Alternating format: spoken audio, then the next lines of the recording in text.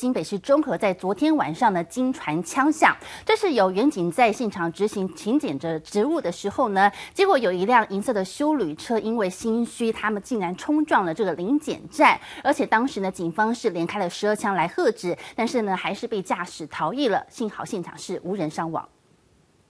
警察拿着指挥棒要求驾驶靠边停，准备临检盘查。银色轿车驾驶一开始缓缓靠近，但下一秒突然加速逃逸。有车，他就没办法走，没没没办法走。然后刚好他停在哪里，他们从那边开过来。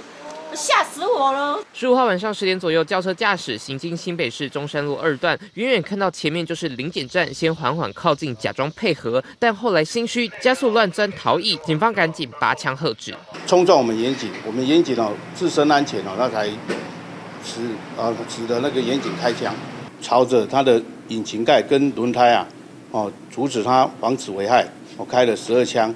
连开十二枪，轿车驾驶还是逃逸。大马路上好多一个一个白色圆圈圈，标记的全是警方开枪后的弹壳痕迹。附近邻居听到枪响，也纷纷出来查看。啊，现在目前已经知道啊该车的车号啊，目前还在通知车主到案说明。